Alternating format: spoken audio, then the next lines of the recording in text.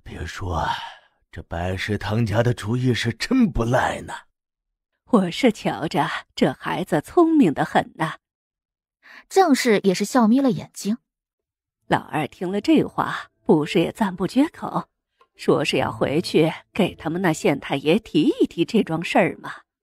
这也算是帮了咱家老二一个忙了，要不然老二做个主簿，不容易出政绩，税收的少了，却要担责。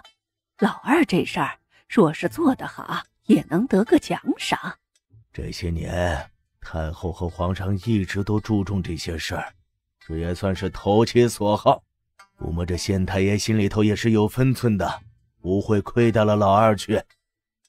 不过也亏了你，把这事说的跟真的似的，听得我都要信了的。嗨，就村子里头那些妇人，都不用说的跟真的一样，人家也能传的神乎其神的。正是提及这事儿，还是有些无奈的想扶额。说起来，他也不过是提及了自己一个远房侄女嫁给了一个县城的教书先生，日子过得十分的顺心。至于剩下的那个，一年赚一百两，往后又当官老爷，前程比老二还要好的话，他是没有说的，都是被那些人传来传去，添油加醋出来的。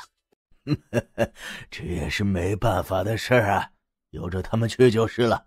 估摸着等着过了十五，这族学开课的时候，就该有人寻上门来了，到时候就看有多少了。多多少少的，只要有这事儿，就算是办成了。其他的慢慢来就是了。哎，这事儿白氏唐家给出的主意，你也寻思寻思，看给白氏唐家送点啥。不能说回头咱占了这名儿，就一点也不承诺，总归不好看。这事儿你就放心吧。这不，老二这回带了点牛肉回来。我早早的就给他家送去了一块呢。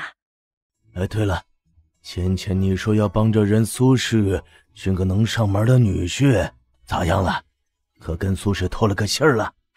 没呢，我寻思着等寻着合适人了，再跟他提一句，看他愿不愿意。